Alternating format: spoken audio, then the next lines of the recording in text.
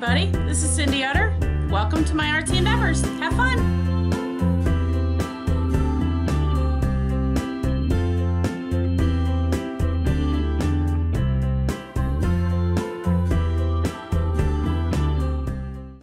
Hey guys, guess what time it is? It's time to play with my Rolodex cards.